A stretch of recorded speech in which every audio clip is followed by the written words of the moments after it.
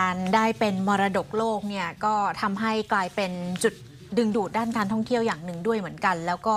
มีงบประมาณในการดูแลด้วยเช่นเดียวกันนะคะ แต่ว่าอย่างที่เราได้เห็นบทเรียนจากที่อยุธยามาแล้วหลายคนอาจจะติดใจอยู่บอกว่า แล้วหลังจากนี้ถ้าเกิดสีเทพเป็นมรดกโลกขึ้นมา จะบริหารจัดการยังไง ไม่ให้ซ้ำรอยแล้วจะทำยังไงให้อยู่กับชาวบ้านในพื้นที่ให้พวกเขาได้รับประโยชน์ไปด้วยนะคะ พูดคุยเพิ่มเติมกับคุณพนมบุตรจันทรโชตอธิบดีกรมศิลปากรอยู่ในสายกับเราค่ะอธิบดีสวัสดีค่ะ สวัสดีค่ะ สวัสดีครับ สวัสดีครับ ค่ะ อย่างตอนนี้เนี่ยที่ชาวบ้านเขายังกังวลสับสนกันอยู่ นั่นก็คือพื้นที่ในเขตอนุรักษ์เข้มข้นหรือที่เรียกว่าคอโซน กับพื้นที่เขตบัฟเฟอร์โซนเนี่ยสรุปจะจะใช้กรอบแบบไหนนะคะ จะเป็นกรอบจากที่มีการประกาศลงในราชกิจจานุเบกษาตั้งแต่ปี 2506 หรือว่าจะเป็นกรอบที่ปักหมุดตามแนวคูเมืองของเมืองสีเทพนะคะ คือผมอธิบายแบบนี้นะครับ ในคราวที่เราเสนอให้สีเทพ หรือเมืองโบราณสีเทพเป็นมรดกโลกเนี่ย มันก็จะต้องมีแนวทาง หรือว่ามีขบวนการจัดการกับแหล่งมรดกโลกอันนี้ ซึ่งตอนเนี้ยปัญหาเนี่ย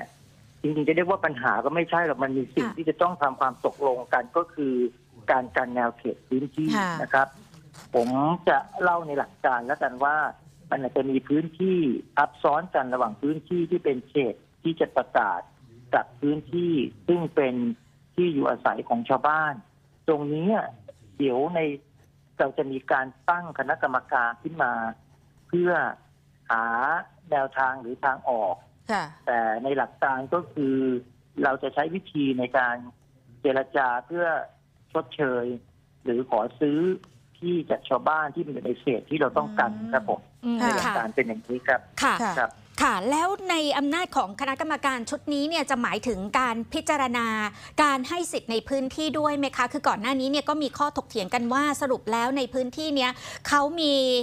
สิทธิ์ในมีกรรมสิทธิ์ในพื้นที่ที่เขาอยู่มากน้อยขนาดไหนจะสามารถขายเปลี่ยนมือส่งต่อ ให้เป็นมรดกในครอบครัวได้ไหมคะ อืม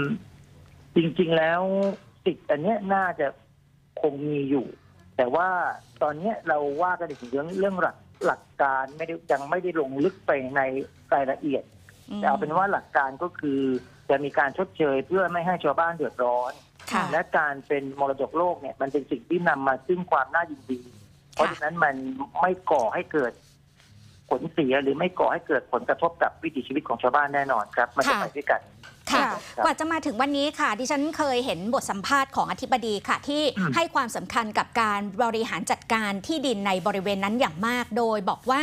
การหาทางออกเรื่องข้อพิพาทที่ดินให้กับชาวบ้านในบริเวณนั้น พวกเขาจะต้องได้รับความเป็นธรรมมากที่สุดค่ะ แต่ไม่แน่ใจว่าหลังจากนี้ เมื่อได้รับการขึ้นทะเบียนแล้วเนี่ยสิ่งแรกที่พวกเขาน่าจะได้เห็นในระยะสั้นเนี่ยน่าจะเป็นอะไรที่เป็นรูปธรรมมากที่สุดคะเอ่อ ผมไม่อยากจะเรียกว่าเป็นความบาดหมางนะครับ มันเป็นเรื่องของการต้องอธิบายในรายละเอียด แล้วก็เป็นการทำความตกลงร่วมกันอย่างนั้นเห็นจะถูกมากกว่า หลังจากประกาศขึ้นทะเบียนแล้วเนี่ยภารกิจหรือหน้าที่มันไม่ได้สิ้นสุดลงตรงนี้ กระบวนการต่อไปก็จะนำเข้าไปสู่การเจรจาในเรื่องของพื้นที่ ซึ่งเรามีกรอบเป้าหมายชัดเจนว่าเราก็จะทำให้เสร็จโดยเร็วที่สุดประมาณ 6 เดือนถึงหนึ่งปีค่ะเพื่อตั้งงบประมาณ ในการชดเชยที่ดินตามระเบียบทางราชการต่อไป เพราะฉะนั้นทุกเรื่องเนี่ยผมเน้นว่าหนึ่งความตกลงนั้นต้องเป็นที่พอใจของทั้งสองฝ่ายแล้วก็ต้องถูกระเบียบ แล้วก็การทำอะไรก็ตามมันจะต้องเป็นไปตามกฎเกณฑ์และมันจะต้องเป็นไปตามขั้นตอนค่ะประมาณอย่างนี้ครับผมครับค่ะแต่ว่าอธิบดีค่ะการการประการประการประกาศหรือไม่ประกาศเนี่ย มันไม่ได้ทำให้ชีวิตของชาวบ้านเนี่ยพลิก ผันไปแบบเอ้ยประกาศแล้วเสียไอ้นู่นประกาศแล้วไม่ได้ไอ้นี่มันมันมันไม่ใช่อย่างนั้นนะค่ะ ถึงจะประประกาศหรือไม่ประกาศเนี่ยชาวบ้านก็ดำเนินชีวิตไปตามปกติค่ะแต่ต่อไปเนี่ยผมเชื่อว่าวิถีชีวิตของชาวบ้านจะดีขึ้น ค่ะ เพราะเมื่อเป็นมรดกโลกแล้วมันก็จะเกิดรายได้ขึ้นมา จากการเป็นแหล่งท่องเที่ยว จากการที่มีผู้คนเข้าไปท่องเที่ยวแล้วเกิดการจับจ่ายใช้สอยอืมลอง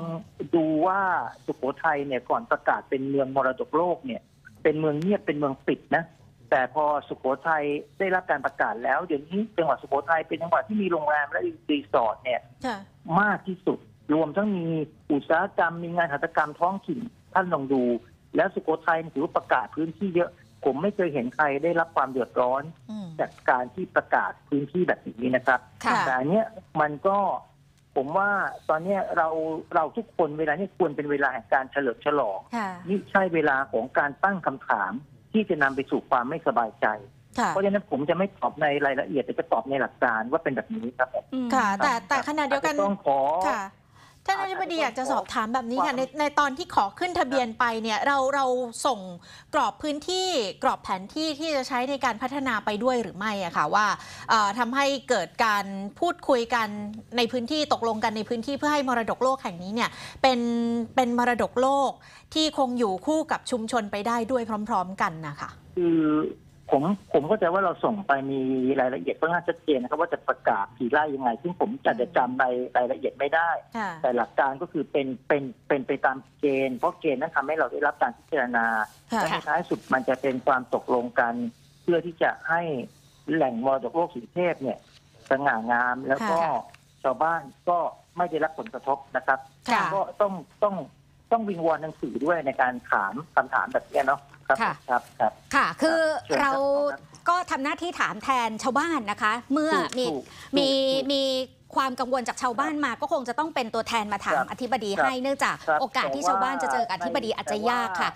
แต่ว่าแต่ทีนี้ค่ะในขอท้ายที่สุดค่ะวามกังวลเชิญค่ะนี้จะได้รับการแก้ไขครับผมครับเชิญค่ะครับ ครับค่ะ ครับทีนี้เอ่อถ้าเราจะถามค่ะ การจัดการที่ยั่งยืนเพื่อให้ชุมชนได้รับผลประโยชน์ แล้วก็นำไปสู่จิตสำนึกในการช่วยกันอนุรักษ์อย่างยั่งยืนค่ะ ตอนนี้ในพื้นที่ก็เริ่มมีรายงานว่า เริ่มมีการเปลี่ยนมือที่ดินมีคนภายนอกเข้าไปอาศัยอานิสงส์ของการเตรียมจะประกาศเป็นพื้นที่มรดกโลกค่ะ ทางกรมศิลปากรแม้ว่าอาจจะไม่ได้มีอำนาจในการเข้าไปบริหารจัดการเรื่องของกรรมสิทธิ์ที่ดิน แต่มีแนวคิดอย่างไร ในการส่งเสริมให้คนพื้นที่ได้รับอานิสงส์แล้วก็ช่วยกันอนุรักษ์ในอนาคตนะคะ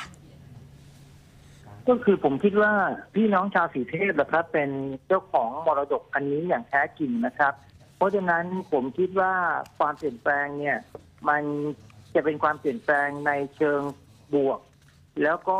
มันคงไม่ได้เป็นการเก็งกำไรหรือซื้อที่ดินเปลี่ยนมือเพื่อที่จะรอให้ที่ดินมีมูลค่าเพิ่ม หลังจากที่ประกาศเป็นมรดกโลกแล้ว เพราะว่าเมื่อประกาศเป็นมรดกโลกแล้วเนี่ยมันก็ยังต้องมี การดำเนินการตามแผนหรือตามเกณฑ์ของยูเนสโกซึ่งมันก็จะมีมีขั้นตอนของมัน ว่าจะพัฒนาไปในทิศทางไหนจะก่อสร้างอะไรทำอะไรได้บ้างค่ะผมเชื่อว่าวิถีชีวิตของชาวบ้านหรือวิถีชุมชนเนี่ยจะยังคงอยู่ค่ะครับค่ะผมครับค่ะ ทีนี้จะต้องดูดูในแผนการเฝ้าระวังในการพัฒนาในเชิงเศรษฐกิจของพื้นที่ด้วยหรือไม่คะที่บดีคะเพราะว่าอย่างครับอย่างใช่พื้นที่สีใช่เทพเนี่ยคือมีแหล่งน้ำมันอยู่ด้วยตรงนี้เนี่ยมันมันทำให้จะต้องวางแนวทางไว้เผื่อในอนาคตด้วยหรือไม่กับการที่จะขุดสำรวจน้ำมันด้วยนะคะก็